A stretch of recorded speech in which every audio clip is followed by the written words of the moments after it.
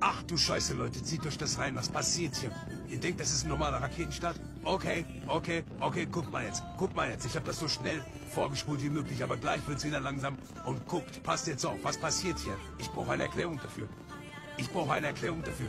Wow, wow, vielleicht zeigt uns Elon Musk die Wahrheit, weil er uns die Wahrheit nicht sagen kann. Jetzt. Okay, bleibt ganz kurz dran und guckt genau hin. Genau hin, was da passiert. Ich brauche da eine Erklärung für. Ich brauche da eine Erklärung für. Was passiert hier? Was passiert hier? Seht ihr das? Seht ihr das? Okay. Okay.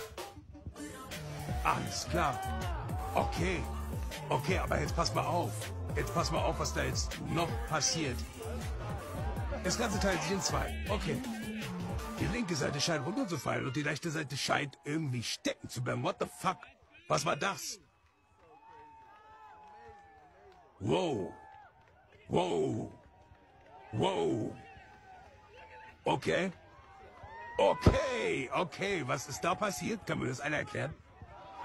Wow. Das, okay. Oh.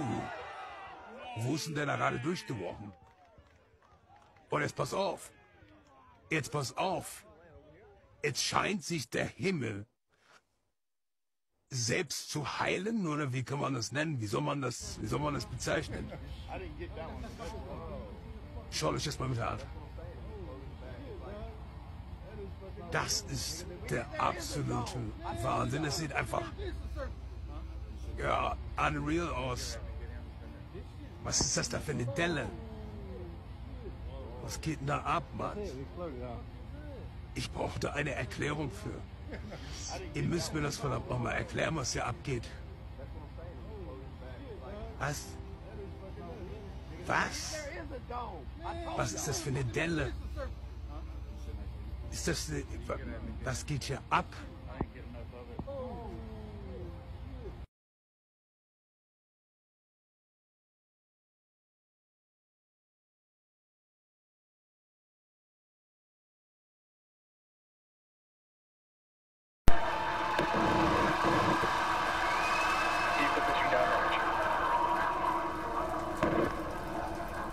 Und was für eine Beleuchtung. Perfekt gewählt. Unglaublich.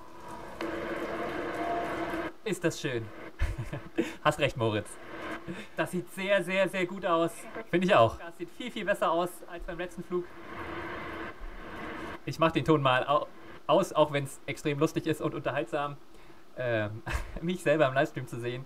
Also das ist jetzt die Wiederholung. Der Start erfolgreich. 33 Raptor-Triebwerke haben gezündet und ihr seht hier auch aus dem der Verfolgungskamera, offensichtlich sind die sehr gut am Arbeiten gewesen. Das Abgas viel sauberer als beim letzten Mal, also keine Hydraulikflüssigkeit, die da abgebrannt ist, sondern diese typische Methanflamme, bläulich, rötlich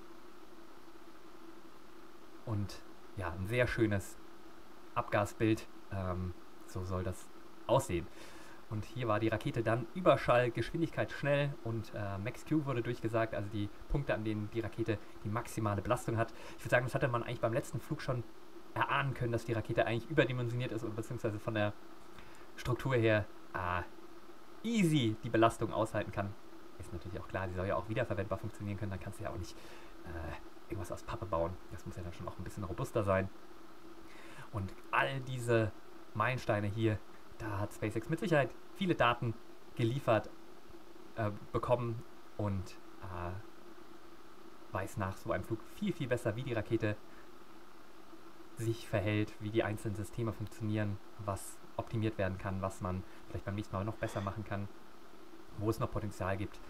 Und äh, ja, gerade ich sag mal, Vibrationen und ähm, Beschleunigung, äh, die so eine Rakete dann im Flug hat, das sind Sachen, das kann man nicht simulieren. Da braucht man Flugdaten und äh, im Zweifelsfall sind Raketen eher überdimensioniert, um diesen Bedingungen Rechnung zu tragen. Und wenn man natürlich dann richtige Flugdaten hat, ähm, die, sowohl die Falcon 9 war früher mit Sensoren und ähm, GoPros und Kameras vollgestopft, um immer bei jedem Flug was zu lernen.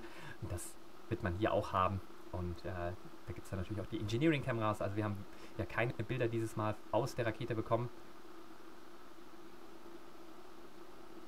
hier war es kurz vor der Stufentrennung. Da gingen alle Triebwerke aus. Ein wunderschönes Bild auch. Habt ihr es gesehen, wie das durchchoreografiert ist?